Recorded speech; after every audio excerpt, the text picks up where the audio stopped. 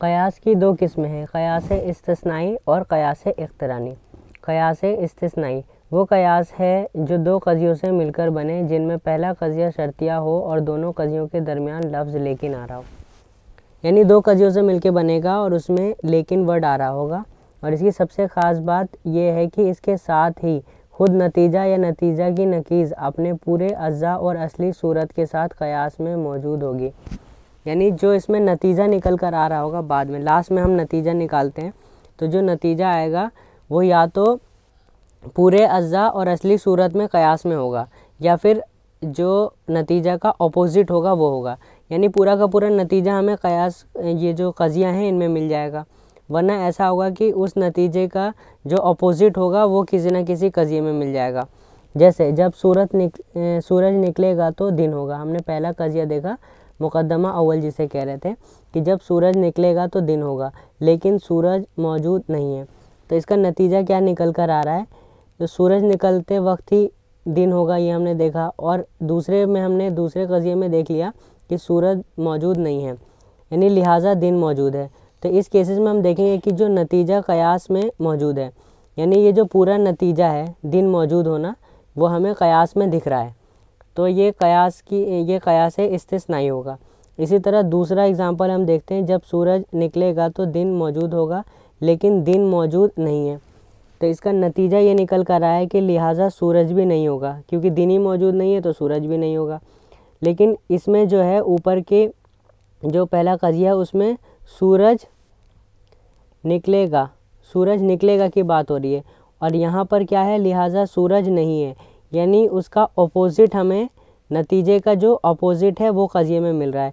तो ये नतीजा है और कयास में इसकी नकीज़ सूरज निकलेगा मौजूद है। यानी इसका अपोज़िट चीज़ हमें कयास में मिल रहा है। तो हम इसको कयास इस्तेसनाई, दोनों को ही हम कयास इस्तेसनाई बोलेंगे। पहले एग्ज़ाम्पल को भी और ये जो दूसरा एग्ज़ाम्पल है, इसे भी बोलेंगे। लेकिन फ़र्क ये है कि फ़र्स्ट एग्ज़ाम्पल में जो है ना, नतीजा जो हमें मिल रहा है, उसका पूरा का पूरा यानी सेम उसी टाइप का हमें कज़िए में मिल जा रहा है। लेकिन सेकंड वाले पोर्शन में उसका जो अपोज़िट मिल रहा है हमें कज़िए में, यानी नतीजे का अपोज़िट चीज़ हमें कज़िए में मिल रहा है।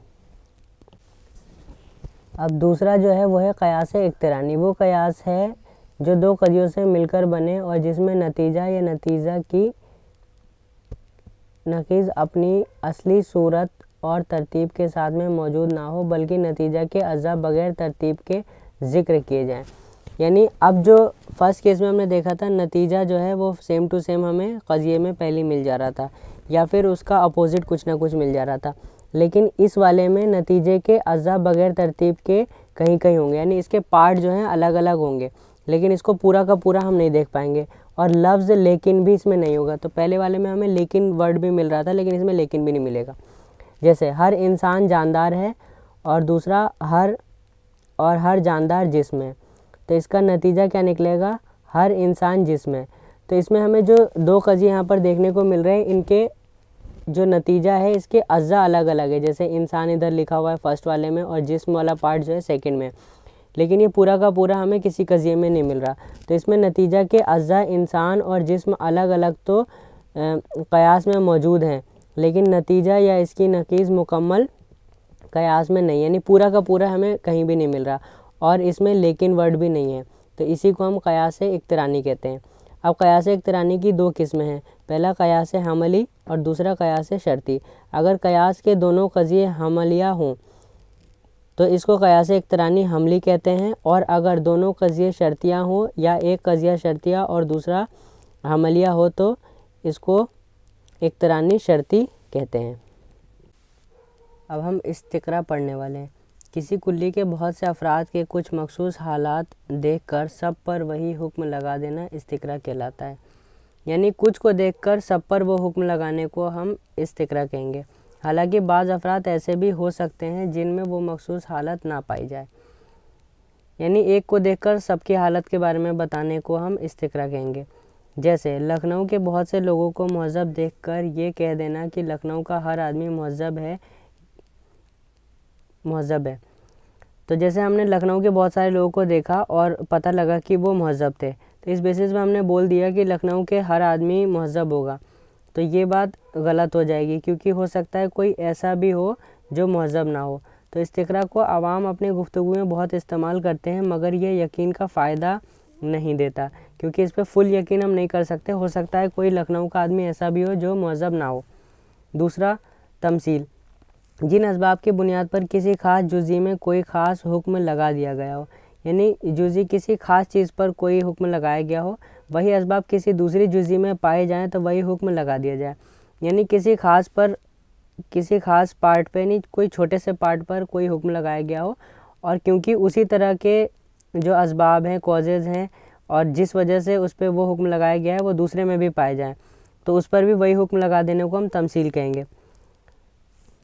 जैसे शराब के बारे में हमें मालूम हुआ कि ये हराम है। अब हमने इसके हराम होने की वजह सोची तो हमें पता लगा कि इसके हराम होने की वजह उसका नशा है। तो शराब जो है वो हराम है, वो इसलिए हराम है क्योंकि उसके अंदर नशा है। इसके बाद हमने देखा कि ऐसा ही नशा भाँग में भी होता है। तो लिहाजा इसका भी वही हुक्म होना चाहिए जो शराब का था और फिर भाँग पर भी हराम होने का हुक्म लगा दिया गया। तो हमें पहले से पता था कि जो हराम है, वो शराब है। लेकिन ये कहीं नहीं बोला गया था कि जो भाँग है, वो भी हराम है। लेकिन क्योंकि जो शराब हराम होने की जो वजह थी, वो ये थी कि इसमें नशा है और भाँग में भी वही चीज़ पाई जा रही थी, नशा। तो इस वजह से भाँग को भी हराम कर दिया गया और शराब को भी।